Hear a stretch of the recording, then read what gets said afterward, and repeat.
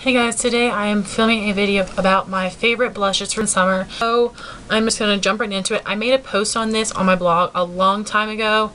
Um, I just never got around to making a video, so I will post that below, which has you know more details and pictures of swatches and stuff. So I'm just going to jump right into it. And um, I have a good mix of high-end and drugstore blushes here.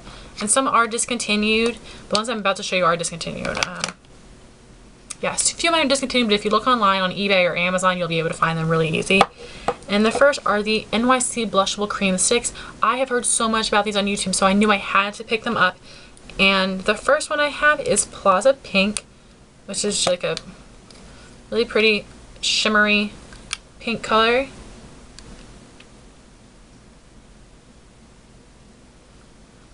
You can see this right here. It's really pretty. And these blend so easily on the cheeks. I just swipe them on and blend up my finger. And I think I paid like $4 for this. I've heard that some people found them at their um, Dollar Trees, so definitely check there and see if you have them. But um, I got mine off eBay. And next is Big Apple Blush. These are the two shades that were talked about the most on YouTube, so I knew that they were worth picking up.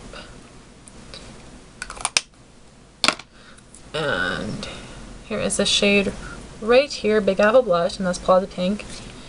I really, really recommend those. They're so easy to blend, and they're they're great for travel.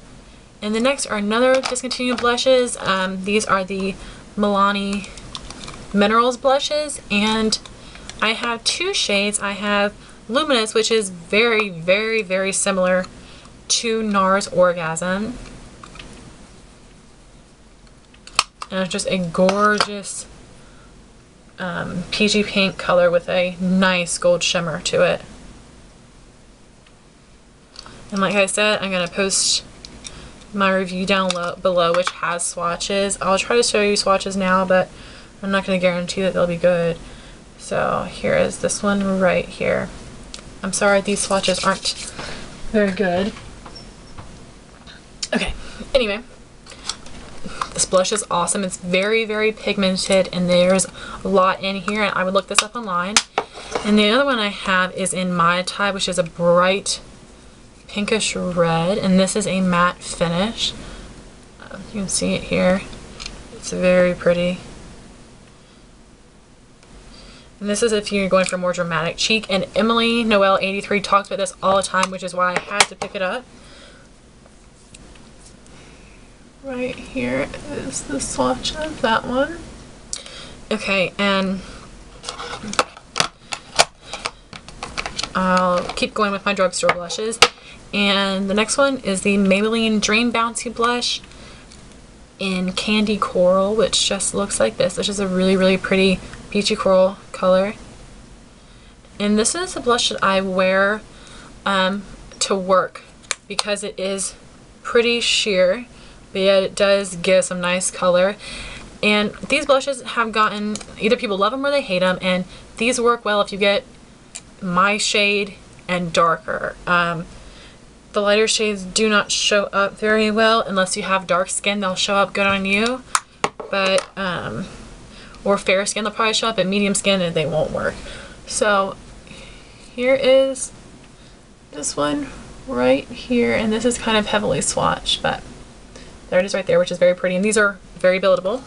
The next is the Revlon Photo Ready Cream Blush in Coral Reef, which looks like this. This is just in my favorites video. And this is such a nice finish.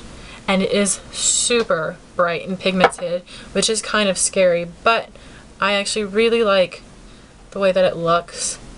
And I'm wearing it today and it doesn't look like too much. So it just depends on how you apply it. Which I apply it with my fingers personally because I find that my stippling brush doesn't work very well in here and it's the shade right at the top.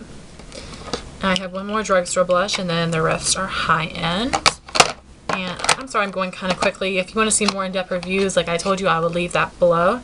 I have an e.l.f. Studio Blush in Candid Coral. This one is talked about a lot on YouTube as well. This is a very, very pretty coral with some gold shimmer, but I would not call this a dupe for NARS Orgasm. Um, but this is very pretty. And like I said, it is $3. You can buy it at Target or on eyeslipsface.com.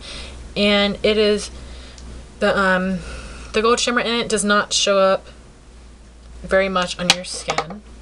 So it's nothing to worry about. And it is right here. And this is very pretty, $3. So you can't beat that. And these blushes are really pigmented. I have one other shade um, for the fall and it's great. And they are really good. And then I have my high-end blushes. And the first one I have, uh, the first three I have are from The Balm. And they're have such great packaging they're so pigmented. The first is Hot Mama, which is a dupe for NARS Orgasm. This is like either a 95% or 100% according to Temptalia. And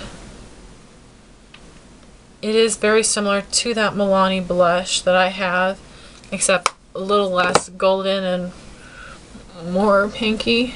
So it's right here. You can see this, but these are really pigmented and the packaging is designed for. I got it for I got this Hot Mama blush for like um, in a set for $10. Next one I have is Frat Boy, which is in my favorites as well. This is a peachy pink color. Looks like this. Next is Down Boy, which is a blue base pink. I don't have very many pink blushes, so I wanted to have one because I know that maybe not everybody is into coral like I am, and it is good to have some variety. And it is super pigmented. And here is the swatch right there. And my last one is Benefit Coralista, which is very beautiful. And this is $28, I know, but it smells great. And it's my go-to blush. And here is the swatch right here. So here is an overview of my swatches. There's NYC Blushable Cream Sticks. So thank you guys very much for watching. Talk to you later. Bye.